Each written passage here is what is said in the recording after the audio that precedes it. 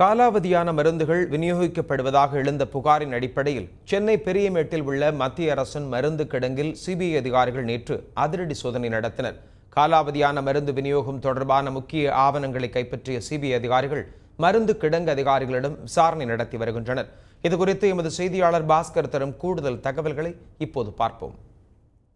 மத்திய சுகாதார மற்றும் குடும்பநல அமைச்சகத்தின் கட்டுப்பாட்டில் இருக்கக்கூடிய மத்திய மருந்து ஆய்வகம் மற்றும் சோதனை கிடங்கு பெரியமேட்டில் இருக்கக்கூடிய இந்த இடத்துல பல ஆண்டுகளாக செயல்பட்டு வருகிறது.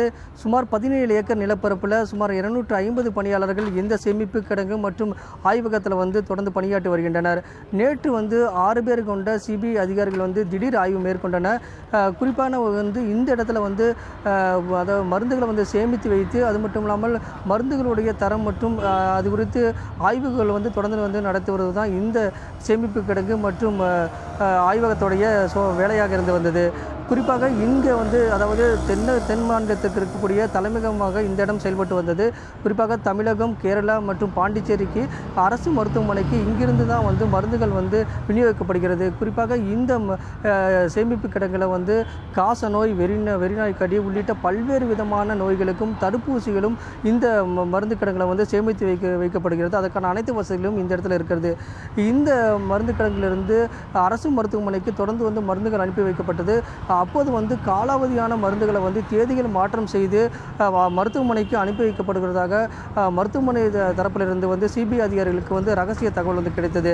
இதன் அடிப்படையில் வந்து தொடர்ந்து வந்து சிபிஐ அதிகாரிகள் வந்து இந்த சேமிப்பு கிடங்கு மற்றும் ஆய்வகத்தை வந்து கண்காணித்து வந்தனர். நேற்று வந்து ஆறு பேர் கொண்ட அதிகாரிகள் வந்து திடீர் வந்து சோதனை நடத்தினர். அப்போது வந்து காலாவதியான மருந்துகள் வந்து இங்கே சேமிப்பு கிடங்கில் வைத்திருந்ததுக்கான அனைத்து ஆதாரங்களும் கிடைக்கப்பட்டிருக்கிறது.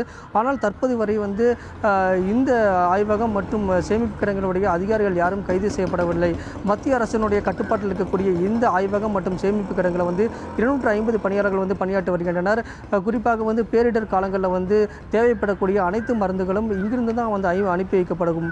அது மட்டும் இல்லாமல் அரசு மருத்துவமனைக்கு அனைத்து விதமான மருந்துகளும் இங்கிருந்து தான் வந்து அனுப்பி வைக்கப்படுகிறது. மருந்துகளை வந்து சேமித்து வைத்து அது மட்டும் இல்லாமல் மருந்துகளை வந்து சோதனை அடிப்படையில் தொடர்ந்து ஆய்வுகள் மேற்கு மேற்கொள்ளக்கூடிய அனைத்து வசதிகளும் இந்த இடத்துல இருக்கிறது.